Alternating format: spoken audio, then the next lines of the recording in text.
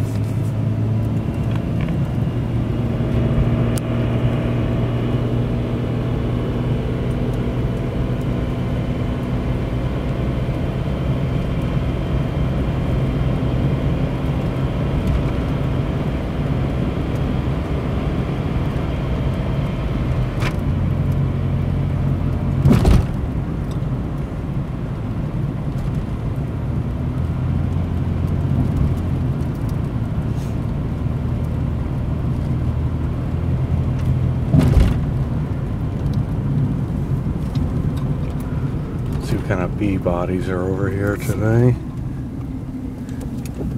My friend's house.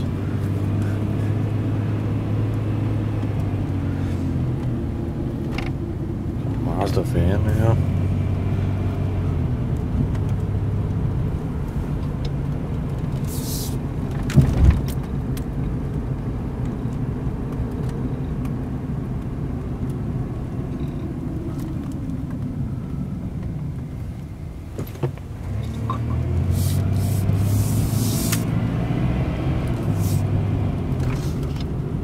Engine's much louder without the hood on, that's for sure.